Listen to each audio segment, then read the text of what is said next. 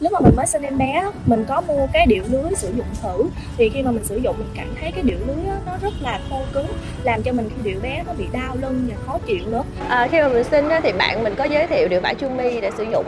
Thì khi mình mua về để mà uh, điệu bé quanh nhà rồi điệu đi ra ngoài thì vợ chồng mình cũng hay đi ra ngoài chơi á. À, để đảm bảo là không có mất giấc ngủ của bé tại vì giấc ngủ rất quan trọng thì lúc sau á mình được bạn mình giới thiệu điện thoại Yumi nè. Thì khi mà mình sử dụng mình cảm thấy điện thoại rất là mềm mịn luôn.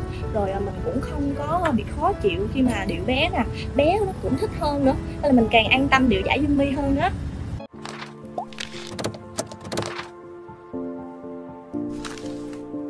À, mình có sử dụng những loại điệu mà lưới của những hãng khác á, thì ờ, cái vải nó không có được mềm.